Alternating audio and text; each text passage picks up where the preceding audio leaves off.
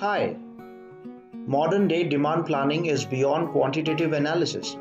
It considers factors of revenue and expenditures which supports availability of inventories, manage external incentives and plan margins. And finally, lets enterprises gain maximum profits. So let's take a quick look on planning your demand during promotional sales using ValQ.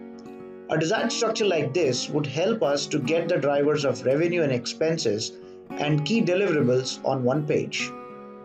ValQ's user interface helps creating multiple submodels, customize your simulation period, and value display.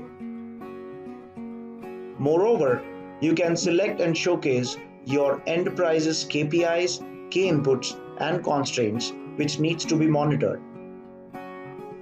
Another great and well-known feature of ValQ is the way it supports handling multiple scenarios and what-if analysis. When planning a demand, let's say we increase the promo discounts and also increase the demand quantity. We can see the impact of simulation leads to change in its dependent node.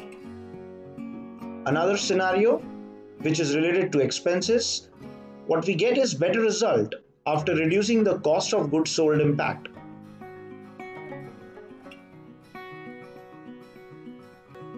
Now by comparing the scenarios, an enterprise can take decision and select one which favors the business more.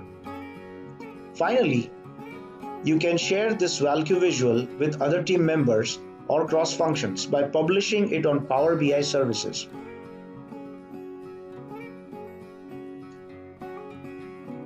ValQ lets planners have the necessary demand drivers and key deliverables available on one page so that a scenario driven planning can also be done for promotional sales.